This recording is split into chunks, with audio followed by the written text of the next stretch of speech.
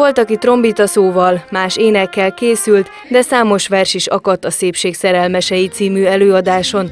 A Dobó István gimnázium diákjai ezzel emlékeztek a Magyar Költészet napjára, József Attila születésnapjára. Vadász Fanni Márai Sándor olyan világ című versét választotta. Úgy gondolja, minden benne van a versben, ami a mai világot jellemzi. Szerintem meg kell mutatni az én jellememet, és szeretném ezzel a többieket is fejleszteni. Ö, szeretem, hogyha bekapcsolódnak, és segítek a társaimnak bármiben. Dr. Hanisné Petró Valéria, magyar népművelődés, drámaszakos tanár, maga is szereti a művészetet, szerinte tehát nagyon fontos az esemény. József Attila a szépség koldusa volt, mi viszont a szépség szerelmesei vagyunk, és szeretnénk kifejezni a tiszteletünket minden művész iránt, aki azért született és az életét arra áldozta, hogy szebbé tegye a világunkat. És ezek a tanulók nagyon érzékenyek, és sokféle művészeti ágban jeleskednek.